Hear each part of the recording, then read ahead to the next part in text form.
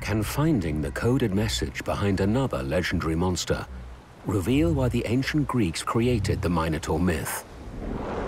While this mutant bull terrorized people on land, another bloodthirsty beast hunted the seas. Mermaids. At first glance, they're beautiful women with fishtails. But beware, they are ambush predators, out to slaughter passing sailors. Using their seductive looks and angelic voices as a trap, they lure men towards the shore. And a deadly hunt begins. Beneath their pretty faces, mermaids are ravenous, man-eating monsters, dragging sailors to their death and feasting on their flesh. Original versions are nothing like Splash or like the Disney version. They tended to be a bit more sinister than that. Nothing like the sort of cutesy version that most people think of. Comparative anatomist Dr. Joy Reidenberg thinks minotaurs and mermaids have a lot in common. She believes both were inspired by real animals. The mermaid's origins may be a familiar marine creature, the seal. We're looking at a harbor seal, but it looks very similar to the Mediterranean monk seals, which are common around ancient Greece. But why would seals have been mistaken for half-human, half-fish creatures? It actually has eyes that are facing forward. So this animal's eyes are looking at you the way a human would, because humans have binocular vision with two eyes facing forward. Very few animals have that. Then we go down this fish-like body, and notice that these two feet can spread out and look just like a fish's tail with the webbing in between. The distinctive way the seal swims is also a clue to how it could have been mistaken for a mermaid. They actually push their feet back and forth like this. So they'd open one, scoop the water, close it, then open the other and scoop the water in the other direction. So at any one moment in time, you would see one of these completely expanded, looking just like a fish's tail. It's not just the seal's physiology that ties it to the mermaid myth. Its behavior fits too. These seals like to live on rocky coastlines. They like to climb up on the rocks, get a nice look around, and that's the kind of coastline that you have off of ancient Greece.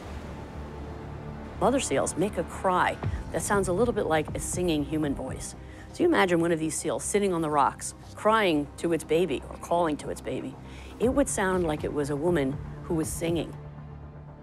So there comes the mermaid myth, these sirens calling the sailors in to their death on the rocks as these ships would crash. Like bulls, seals are not normally a threat to humans. So why did the ancient Greeks create the Minotaur and mermaids as man-eaters? Could this be the key to the encoded message? Maritime archaeologist Dr. Derek Irwin believes the answer could lie in the dangerous coastline of Crete. The Aegean Sea is actually littered with shipwrecks. We think that there are thousands of shipwrecks lying in the seabeds around Greece. Derek believes the flesh-eating fame of mermaids is a coded message about the many deaths that occurred in these waters.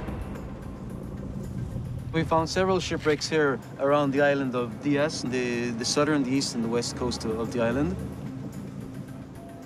Upstall, Igor. Upstall. Hidden underwater volcanoes have created deadly ship-shredding geology, covering the seabed and shoreline with sharp rocks. So along here, mostly we have drop-offs. Yeah. From the surface, you go to deep water to 40 or 50 meters straight down. But then we have some rocks protruding out here. A combination of uh, bad weather, rough seas, and all sorts of rocks on the surface, under the surface, uh, near the coast could have been catastrophic for any ancient sailing ship. Derek thinks the mermaid's hunger for human flesh was created as a stark warning. Mermaid tales were all about danger and deception. Stories of mermaids were definitely like a coded message to ancient sailors not to go too close to the rocks. Greece has over a thousand islands and more than 13,000 kilometers of shoreline. For the ancient Greeks, sailing through this rocky maze wasn't easy. Their boats were small and made of wood, and the sailors had no compass. So at night, they used the stars to navigate. And by day, they had to hug the jagged coastline. The mermaid myth reminded them to stay alert. It was this life-saving warning that meant the tales of mermaids endured for millennia. Our human brain is wired to, to pay attention to storytelling, to things that we can relate to. If we make them meaningful, we're going to store them and remember them better. So if mermaids were created for a purpose, what message lies behind the Minotaur myth? What were the ancient Greeks warning of? Could the sudden downfall of their enemy, the fierce Minoans, be the key?